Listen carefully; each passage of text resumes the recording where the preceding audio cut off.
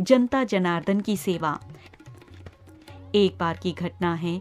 भारत के अंग्रेज़ी राज्य के यशस्वी लेखक एवं राष्ट्रीय नेता श्री सुंदरलाल जी एक बार पूना गए। वह श्रीमद् भगवत गीता की कर्मयोग की व्याख्या करने वाले भारतीय चिंतक एवं राष्ट्रीय नेता लोकमान्य बाल गंगाधर तिलक के व्यक्तित्व जीवनी की एक झलक लेना चाहते थे।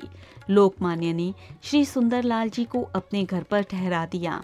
प्रातः चार बजे लगभग तिलक जी उठे प्रातःकालीन नित्य क्रियाओं से निपटकर केसरी और मराठा के लिए अग्रलेख लिखने लगे। ग्रंथ लेखन, स्वाध्याय आदि कार्यालय करते दिन निकल गया। मिलने वाले सज्जन आने लगे। कुछ देर में लोकमान्य तिलक कार्यालय भी गए। वहाँ भी उन्होंने अपने अनेक काम निपटाए। आवश्यक निर्देश दिए। फिर शहर से बुलाने वाले व्यक्तियों के साथ नगर गए। शहर के दो स्कूलों, नगर आयोजनों में भाग लेकर जब लोकमान्य घर लौट रहे थे, तब दोपहर का सूरज चढ़ गया। तिलक जी ने फिर से स्नान किया। आवश्यक नियम विधि पूर्ण कर वह पाठशाला गए। साथ में सुंदरलाल जी भी थे। दोनों अपने अपने स्थान पर बैठ गए। सामने पटरी पर भोजन की थालियाँ आ गई।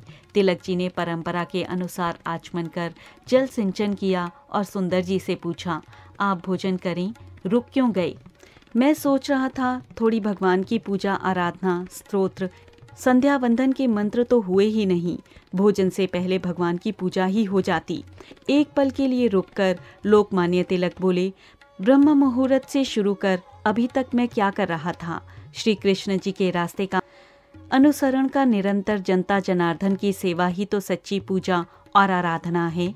भोर से उठकर यही तो मैं कर रहा था। घर घर के छोटे बड़ों के भोजन की व्यवस्था के रूप में यह भोजन भी उनके ही भजनों का एक भाव है।